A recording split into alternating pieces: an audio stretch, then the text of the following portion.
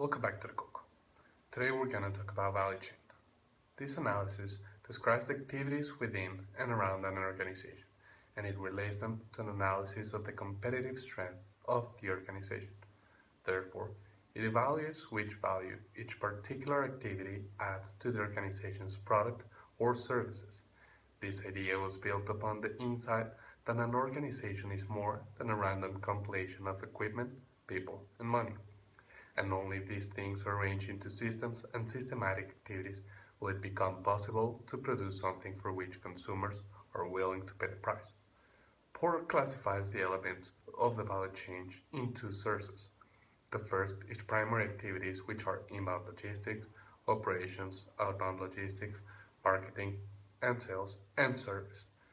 The second are secondary activities, which are procurement, human resource management, technological development, and infrastructure.